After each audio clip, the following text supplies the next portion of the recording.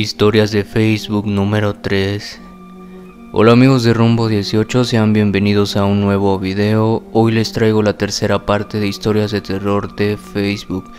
Son dos historias muy buenas que espero les gusten.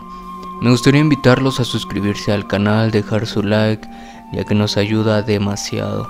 También los invito a seguirme en Facebook como Rumbo 18. Sin más que decir, los dejo con el siguiente video. No dejes llorar a los bebés en las noches. La abuela siempre nos contaba historias que a lo largo de su vida habían ido acumulando, muchas de ellas como experiencias propias. Fue conocida en el pueblo por sus dotes de curandera y todos acudían con ella para curar a sus hijos de empacho, espanto y mal de ojo. Entre los muchos consejos que nos daba, nos decía siempre con mucha seriedad, Un bebé es lo más parecido a un alma pura, un ángel encarnado. Si estando embarazada oyes a tu bebé aún no nacido o llorar dentro de tu vientre, no se lo cuentes a nadie, porque este pequeño viene con dones de sanación o de adivinación. Si lo haces, tu niño no desarrollará sus dones y siempre padecerá de dolores de cabeza y será muy sensible a recibir los malos aires. Los bebés, sobre todo los recién nacidos, tienen un llanto muy especial que puede ser escuchado más allá de este plano. Y es que su mollera aún no cierra, y su llanto hace eco más allá de este mundo. Por todo esto, no dejen llorar a los bebés por las noches, ya que pueden atraer a seres y entes que atraídos por la naturaleza de su alma se acerquen a él ya que sobre todo estas malas energías se manifiestan por las noches. Pueden atraer a brujas que busquen chupar su energía vital para mantenerse jóvenes. También podría atraer a los duendes o chaneques que vengan a llevárselos para jugar con él y perderlo en su mundo. Nahuales y hasta la mismísima llorona. Si el bebé aún no es bautizado estará más vulnerable ya que en el bautismo se protege su carisma Mientras tanto, coloquen las tijeras abiertas debajo de su almohada, coloquen guirnaldas de ajos en las puertas, coloquen un hilo rojo en su muñeca izquierda y un ojo de venado colgando en su ropita. Pero ante todo no los dejen llorar mucho tiempo. En cuanto empiecen a llorar atiéndalos de inmediato. Carguen y arrullen a sus bebés. Cambien los pañales o denles de comer. Lo que se necesite, pero nunca Nunca dejen llorar a sus bebés por la noche. La muerta que se fue a la iglesia. Cuentan que hace muchos años en un pueblo cercano a la ciudad de Oaxaca vivía una hermosa joven llamada Carmen, quien todas las tardes sin falta asistía a la iglesia. Tenía el hábito de pasar varias horas rezando frente al altar, muchas veces ya de noche. Los monaguillos el sacerdote tenían que pedirle que se retirara para poder cerrar. Sin decir una palabra, Carmen se retiraba. Al día siguiente ocurría lo mismo. Se dice que desde niña Carmen quería consagrarse a Dios y su mayor deseo era ser monja, pero la muerte de su madre tuvo que quedarse al cuidado de don Bartolo, su padre. Don Bartolo era un hombre estricto y tenía gusto por el alcohol. Al quedar viudo se tiró por completo al vicio. Vendió propiedades, ganado y toda clase de pertenencias. Gastó todo su dinero en parrandas y mujeres. Luego se vio obligado a pedir prestado. El papá de Carmen adquirió una cuantiosa deuda con don Severiano, un viejo rico, hacendado, a quien todos en el pueblo temían por abusivo y violento. El hacendado era viudo y se decía incluso que él había matado a sus anteriores esposas por estar enfermo de celos y de haberlas acusado de engañarlos con otro.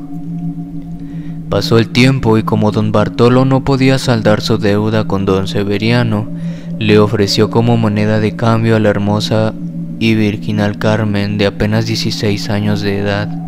Obligada por su padre, Carmen fue condenada a vivir una vida miserable al lado del rico hacendado, quien en lugar de cuidarla y protegerla, la maltrataba, la golpeaba y la humillaba a su mayor antojo. Carmen tenía prohibido hablar con hombres. En algunas ocasiones, después de propinarle sendas golpizas sin ningún motivo, don Severiano se ausentaba por viajes de negocios. Otras veces, después de abusar y golpear a Carmen, salía de fiesta con otras mujeres y regresaba al día siguiente borracho y acusando a Carmen de infiel, como a sus anteriores esposas. Ante tantas vejaciones y horrendos maltratos, Carmen solo se encontraba consuelo acudiendo a la iglesia, lugar al que iba escondidas del hacendado con ayuda de una criada, pues tenía estrictas órdenes de no dejarla salir, pero se las arreglaba para hacerlo. Pasó el tiempo y una noche misteriosamente después de tres días de no haber ido a la iglesia, un poco sorprendido el sacerdote se acercó al Carmen para decirle que le habían extrañado esos días, pero que ya era hora de cerrar el templo y tenía que retirarse.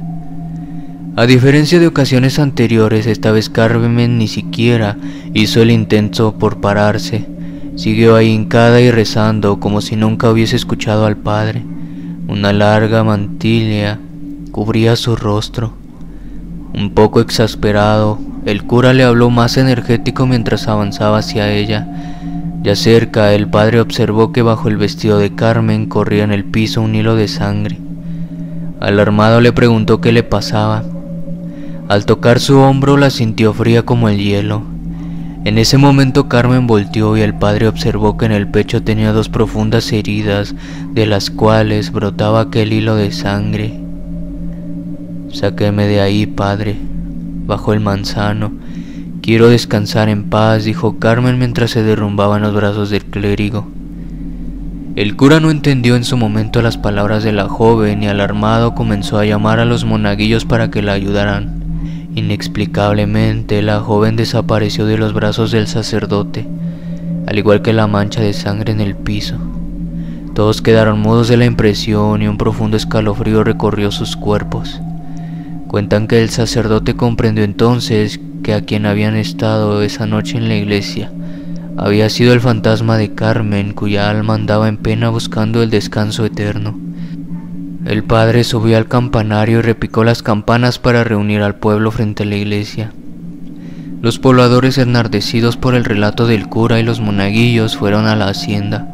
Buscaron bajo el gran árbol de manzana y ahí enterrado encontraron el cuerpo de Carmen, quien según se supo, tres días antes había sido asesinada de dos puñaladas en el pecho por el hacendado quien la descubrió que salía de la hacienda y acusó de tener un amante. Cuenta la leyenda que los pobladores detuvieron al hacendado, le hicieron cosas horribles, lo hicieron caminar a golpes hasta la plaza del pueblo y ahí terminaron con él. El padre de Carmen murió en total miseria y su cuerpo fue encontrado calcomido en los alrededores. Cuentan que hasta la fecha, principalmente en las noches de luna llena en aquella hacienda abandonada, hay quienes afirman haber visto a Carmen pasearse cerca del árbol de manzana, otros más que la han visto entrar a la iglesia del pueblo, lugar en el que aseguran aún después de muerta llega a rezar, créditos a quien corresponda.